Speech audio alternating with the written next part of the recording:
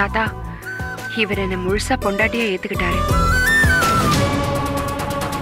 ஆலமரம் மாதிரி அசையாம இருப்பேன்னு நினைச்சேனே. கடைசியில்